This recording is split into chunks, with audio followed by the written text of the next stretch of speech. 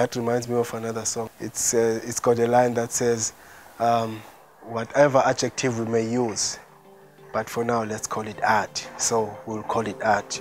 And a person who does it, they call him an artist. So in that way, I'm an artist.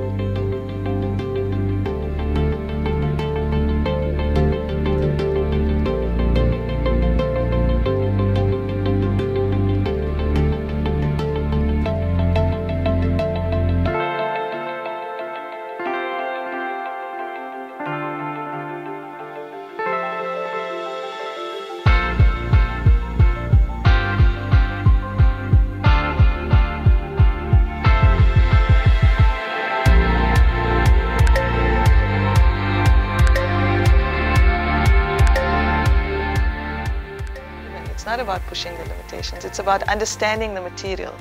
And as you work with something, the understanding grows. It's like a, it's like a language, if I can put it that way. So, so first you understand just the vocabulary. Now you understand how to put those words into a sentence and write poetry. It's quite hard to actually define where inspiration comes from. For me, it's driving in the streets, it's interacting with people, it's the environment in which you live, it's the news, it's looking at other pieces of art, it's being in museums and galleries, it's reading. It's, it's like you take little bits and pieces from every part of, um, of the interactions that you have in the world, and it all just bundles together in some kind of way into something that becomes art. It's a storytelling which is important uh, to tell our stories in a different way. That's what always fascinates me. If you go to like a drawing class and you'll see how everybody's just got their own handwriting. They just can't make it the same. I love people.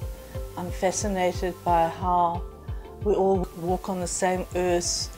We all have more or less the same things influencing us, and yet we're all different.